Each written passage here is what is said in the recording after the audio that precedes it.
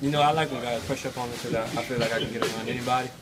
Um, that, that's an easier way for me to get into the paint and make plays for others. Um, but I got to do a good job of setting screens and you know just trying to get into open field. Uh, you know, you always want to go against the best. But I guess we'll have our time in the regular season. Definitely, I think we got a good rhythm as a team. Um, what's it going to take for us to get wins? And um, now it's all about going out there and doing it. Playing defense. You got to play defense at a high level.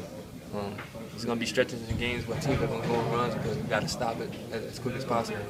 And um, the defense, offense ain't going to be there every night, but if we play defense, I think we'll be in every game.